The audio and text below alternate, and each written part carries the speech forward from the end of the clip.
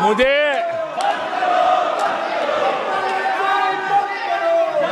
एक किस्सा याद आता है।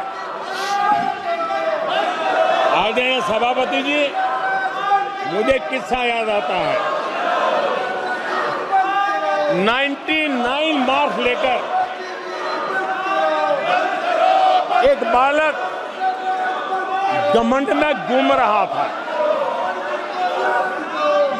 और देश सबको दिखाता था। देखो कितने ज़्यादा मार्क्स आए हैं। तो लोग भी जब 99 सुनते थे तो शाबाजी देते थे। बहुत उसको हौसला बुलंद करते थे। तो फिर उनके टीचर आए कि भैया किस बात की मिठाई बांट रहे हो? ये 100 में से 99 नहीं लाया। ये तो 543 में से लाया है।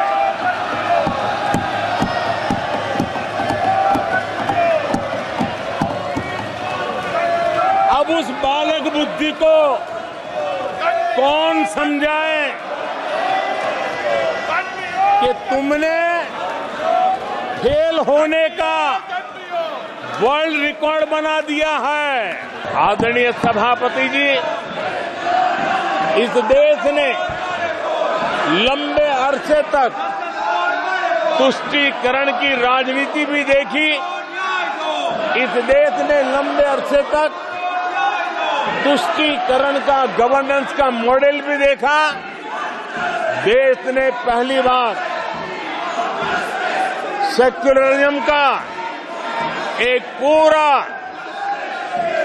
हमने जो प्रयास किया और वो हमने तुष्टिकरण नहीं, संतुष्टिकरण और संतुष्टिकरण के विचार को लेकर के हम चले हैं।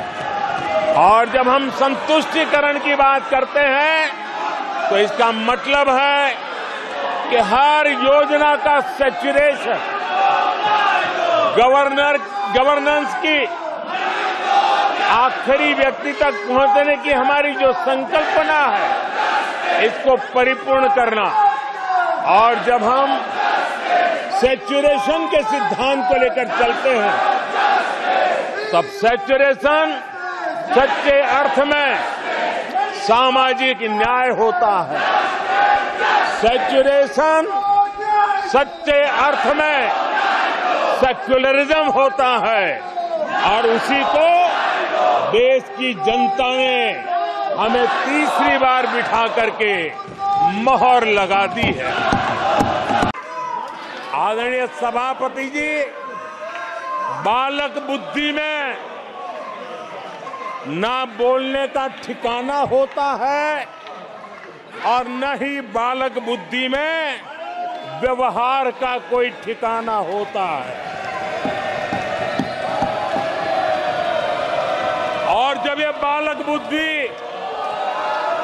पूरी तरह सवार हो जाती है तो सदन में भी किसी के गले पड़ जाते हैं। ये बालक बुद्धि अपनी सीमाएँ खो देती है तो सदन के अंदर बैठ करके आँखें मारते हैं, आँखें मारते हैं।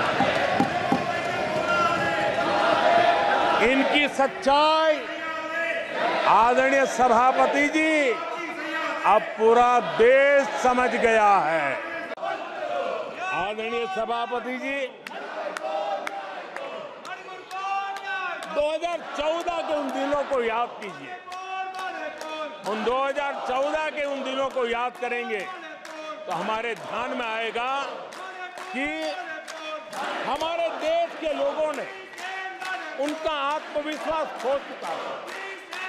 देश निराशा की गर्द में डूब चुका था। ऐसे समय